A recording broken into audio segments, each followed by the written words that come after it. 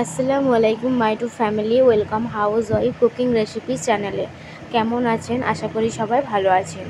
আজ আমি আপনাদের সাথে শেয়ার করব এই বর্ষা মানে বৃষ্টির সময় কার না ইচ্ছা করে ফুলো ফুলো চপ খেতে।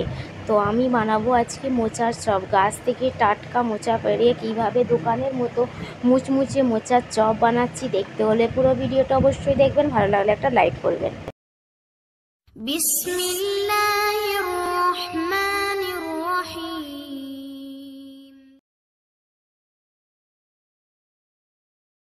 এই দেখে নিন ফ্রেন্ড সন্ধ্যার মোচার চপ বানানোর জন্য আমাদের গাছে টাটকা মোচা পেরে নিচ্ছি। দেখে বুঝতে পারছেন কীভাবে আমরা গাছ থেকে মোচাটি পারছি। এই দেখে নিয়ে খুব বড় সাইজের মাছ সারলাম গাছের মোচা পারলাম। এবার মোচাটি সুন্দরভাবে ছাড়িয়ে নেব। মোচা ছাড়ানো খুবই ঝামেলার কাজ, কিন্তু আমাদের কাছে যেহেতু গ্রাম্য পদ্ধতিতে আমরা সবই জানি, তাই এইভাবে মোচাটি প্রথমে মাঝখান থেকে এই কাঠিটি ফেলে দিতে হয়। তারপর এইভাবে সমস্ত মোচাগুলো ছাড়িয়ে কুচি করে কেটে নেব। তো এখানে আমার সমস্ত মোচা ছাড়া হয়ে গেছে। এবারে এটিকে কুচি কুচি করে কেটে সিদ্ধ করে নেব।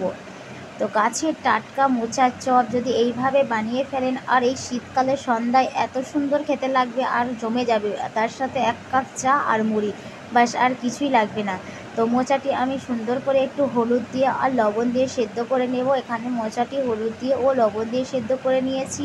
তারপর এখানে কড়াইয়ে তেল দিয়ে দিলাম। তেলের মধ্যে রসুন কুচি দিয়ে দিলাম। ও আদা কুচি দিয়ে হালকা ফ্রাই করে নেব। এখানে এইভাবে কুচি করে দিতে হবে। পেস্ট না দেওয়াই ভালো, কারণ কুচি করে দিলে বেশি স্বাদ লাগবে।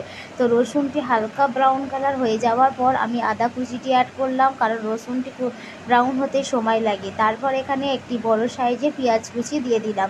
পেঁয়াজটিও হালকা এইভাবে নেড়ে ছেড়ে ব্রাউন কালার করতে থাকব। খুব একটি ব্রাউন কালার করব না, হালকা ব্রাউন কালার করে তারপর এখানে কিছু কিছু মশলা অ্যাড করব।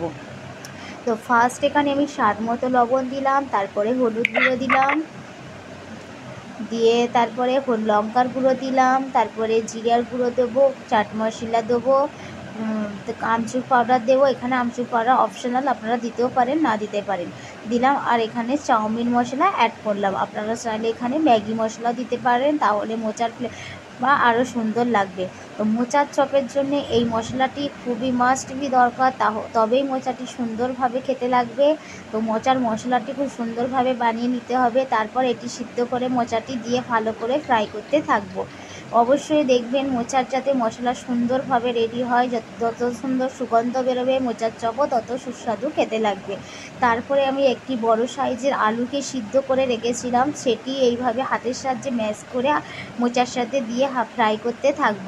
ম্যাক্সিমাম দু মিনিট মতো মোচার সাথে আলুটি এইভাবে ফ্রাই করে নেব। যখন দেখবেন আলু সিদ্ধর সাথে মোচাটি খুব সুন্দরভাবে মিক্সড হয়ে গেছে আর খুব সুন্দর একটি মোচার স্বাদ গন্ধ বেরিয়েছে, তখন এখানে বাদাম দিয়ে দেবেন। এখানে আমার বাড়িতে ভেজে রাখা চীনা বাদাম ছিল, সেটি অ্যাড করে দিলাম। দিয়ে নেড়ে চেড়ে নামিয়ে নেব। একদিকে আমি বেসন নিয়ে নিলাম, বেসনেও সামান্য সামান্য মশলা অ্যাড করব। ফার্স্ট বেসনের মধ্যে দিয়ে দিলাম কর্নফ্লাওয়ার তবে মোচার চপটি বেশি মচমচে হবে, সামান্য সোডা দেব, হলুদ গুঁড়ো দিলাম লঙ্কার গুঁড়ো দিলাম, স্বাদ মতো লবণ দিলাম, ধনের গুঁড়ো দিলাম ও জিরা গুঁড়ো দিলাম। দিয়ে একটি পেস্ট বানিয়ে নেব। খুব একটি পাতলা পেস্ট বানাবো না, মোটা ধরনেরই পেস্ট বানাতে হবে, গাঢ় গাঢ়, তবে চপটি খুব ভালোভাবে রেডি হবে। আর একদিকে আমি মোচাটি খুব ঠান্ডা করার জন্য রেখে দিয়েছি। দেখে নিন, এখানে মোচার চপ বানানোর জন্য মোচার শেপও দিয়ে দিয়েছি, চপের শেপ আর একদিকে কড়াই বসিয়ে দিলাম। কড়ার মধ্যে একদম ডুবো তেল দিতে হবে। ডুবো তেলটি গরম হয়ে গেলে মোচার যে সেভ করে রাখা, সেটিকে বেসনে ডুবিয়ে ঠিক এইভাবে ছাড়তে হবে।